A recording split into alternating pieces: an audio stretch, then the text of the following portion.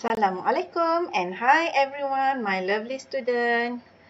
Okay, uh, for this video, we are going to discuss uh, the last exercise in chapter 2 from 5, matrices, uh, self-practice 2.2h. Uh, in this question, basically uh, to solve problem. So have a look at question number 1.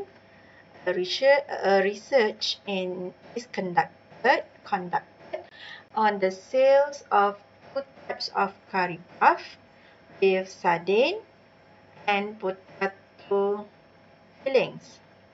In the first hour, 24 curry puff with sardine filling and 18 curry puff with potato filling are sold. And the total amount of sale is 28 ringgit 80 cent. In the next hour, 30 curry puff with sardine filling and 14 curry puff with potato filling are sold. And the total amount of sale is 29 ringgit 20 cent. Calculate the price prices for a curry puff with sardine filling and a curry puff with filling using the matrix method. So, first step, uh, you have to let x we have to use unknown. Okay, x as curry puff with sardine filling and let y equals to curry puff with potato filling. Next, form and uh, form two equation, two linear equation. As you can see, okay, I will use pen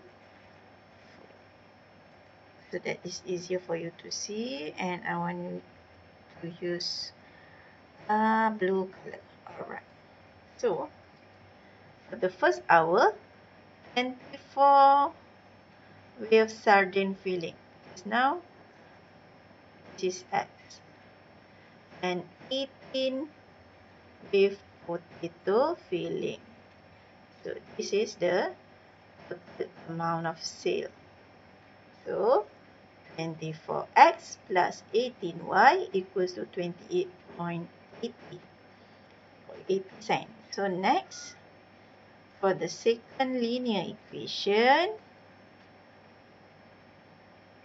30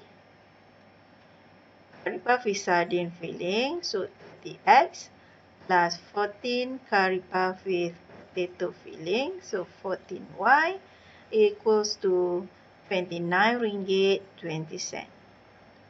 So, we already formed two linear equation. Next, write these two linear equation in the form of matrix. So, like this. Then solve this equation. So, you get value of x and y.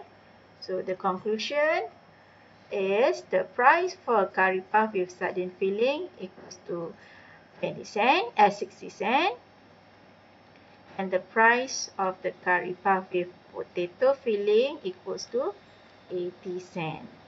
Because we get the answer here 0.8 so 80 cent. Alright so next question number 2 Akmal spends 68 ringgit a week on the two sports as mentioned below Calculate the time in hours Akmal spent in the sport club for swimming and playing badminton in a week using the metric method. So this is what Akmal said. I spend 10 hours a week for swimming and playing badminton in sport club. Sport club. So let x equals to time for swimming and y equals to time for playing badminton. So we can form two. So 8 ringgit per hour. So this is for swimming. So 8x plus 5y. 5 is 5 ringgit per hour for badminton equals to 68 ringgit as mentioned in the question. Must spend 68 ringgit a week for the two um, spots here. Next, uh, Akmal said that uh, he spent 10 hours for playing badminton, swimming and badminton. So x plus y equals to n. So here we get two uh, simultaneous linear equation. So just write these two linear equation in the form of matrix and solve this matrix.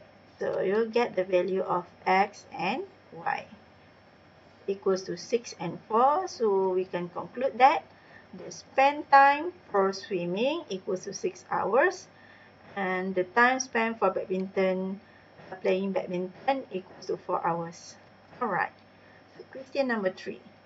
Puan Komala and Puan Lily go to the market to buy papaya and banana. The table below shows the mass of the papaya and banana bought by them. So Puan Komala buy 4 kg papaya and 2 kg banana. While Puan Lily buy uh, two, uh, 5 kg papaya and 3 kg banana. Puan Komala and Puan Lily 26 and 35 ringgit respectively for the two types of fruit. So calculate the prices of 1 kilogram of papaya and 1 kilogram of banana using the matrix. So first let x equals to the price of papaya and y equals to the price of uh, banana. So next, here's my equation. Okay, so this is the linear equation. Sorry for the delay. Alright, so for x because this is papaya plus 2y, y is banana equals to 26 ringgit. So this is for Puan Komala.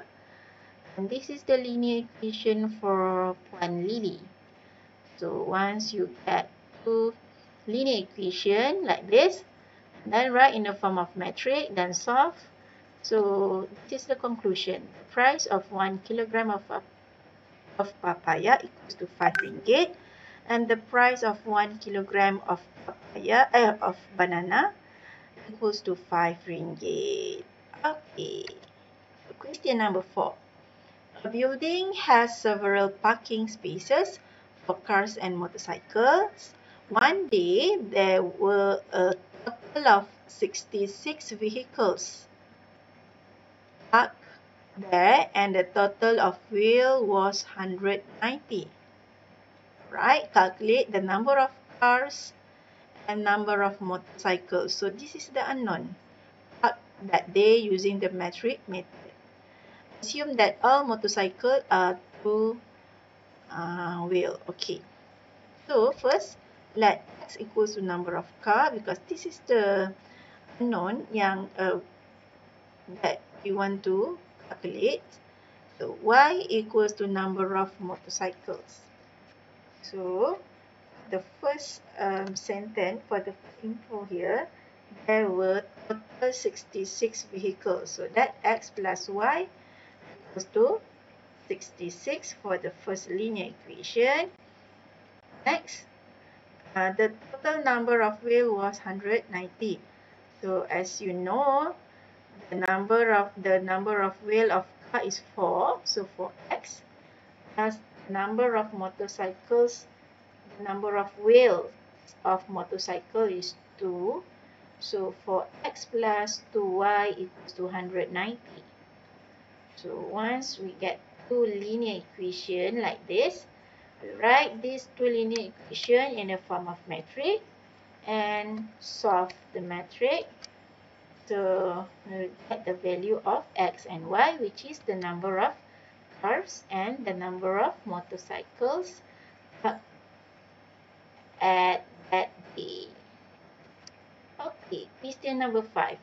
Encik Jeffrey and Encik Tan inverse in unit trust P and unit trust Q as shown in the table below. So this is for Encik Jeffrey for unit trust P and Q and this is uh, the, uh, for Encik Tan. Okay, after a year, Encik Jeffrey get a dividend of 350 from the investment of both of the unit trust or unit trust while Encik Tan get a dividend of 440. Calculate the dividend rates for unit trust P and unit trust Q using the matrix method. That is my mouse. Okay. So, first let X equals to unit trust P, Y equals to unit trust Q. So, this is the two linear equation. For a 500x plus 3, uh, 5000x plus 3000y equals to 350 which is this is for Encik Jeffrey. So this is the um, investment for Tan. So this is the dividend. Okay, from these two linear equation, you can write in the form of matrix and solve. So you will get uh, the value of x and y equals to 0 0.04 and 0 0.05. So the, the question asks you to calculate the dividend rate. So you have to time this with 100%. So this is the dividend rate for unit trust P, which is 4%, and unit trust Q is 5%. Alright, that's all for exercise 2.2H. Thank you and see you in the next video.